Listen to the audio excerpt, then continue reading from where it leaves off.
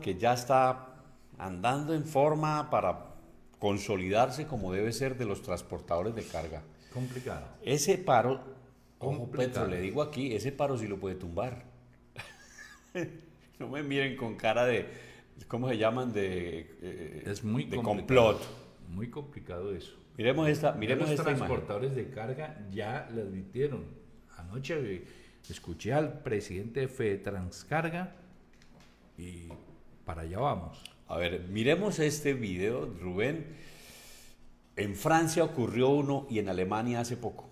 Y eso paralizaron el país estos transportadores. Claro, Lo paralizaron, pero total.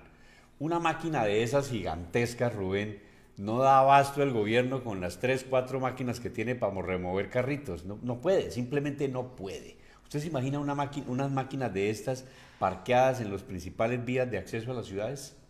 Paralizan el país. Paralizan el país. Totalmente.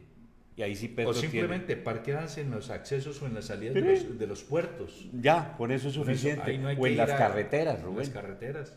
200, 500 tractomulas distribuidas en las entradas de Cali, Medellín, 1000, 2000 tractomulas, camiones, en fin, vehículos pesados. ¿Por qué? Porque Petro le va a clavar una trepada monumental al diésel en Colombia. Y eso pues va a afectar claramente el bolsillo de los transportadores. No, de todos los colombianos. Así es porque, simple. Porque, porque toda la economía nacional se mueve a través de tractores. Claro, y eso es un efecto dominó, claro. Veamos este corto video de los transportadores en Bogotá.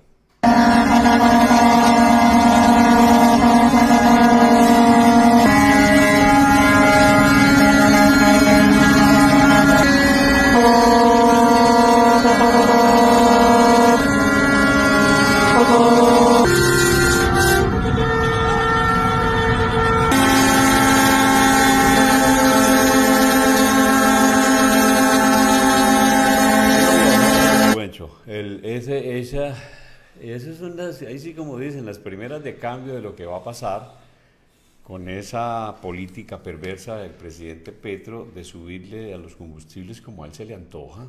Así, como, no, es que yo calculo, no, súbale, súbale 500 pesos, súbale 2 mil pesos, eso, eso no importa. Pues la gente no aguanta, mi hermano, la gente no aguanta. Y un paro de estos puede tumbar un presidente, un ministro, claro, facilito.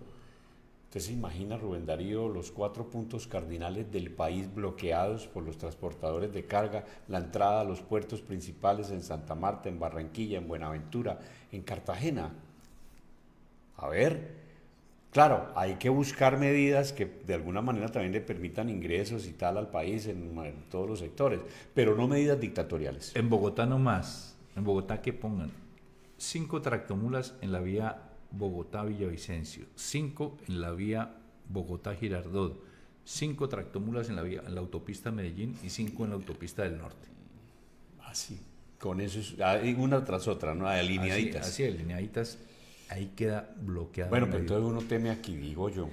¿Será que de pronto el gobierno, digo yo, las manda a incendiar, o sea, como rememorando, remembrando sus épocas del M19? Incendienlas, Expropienlas. expropienlas. Esto, esto es, eh, mire Rubén, es que usted mira para a- a- a- Esa es la otra, que el presidente no sabe cazar peleas. No, no, no, no, no, no. Caza peleas y no tiene cómo solucionarlo. Sí, no, y, y lo, la figura, la, la gráfica que yo he planteado aquí desde hace muchos meses, el presidente anda con un bidón de gasolina en la mano izquierda y con un micrófono en la derecha y con el bidón va regando gasolina en todas partes y prendiendo fuego y con la derecha va atizando, atizando con el micrófono. Eso es lo que está haciendo el sujeto este Gustavo Petro.